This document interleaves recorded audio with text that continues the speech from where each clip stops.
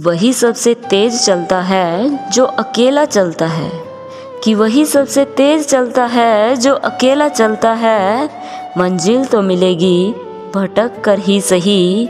कि मंजिल तो मिलेगी भटक कर ही सही, गुमराह तो वह है जो घर से निकला ही नहीं।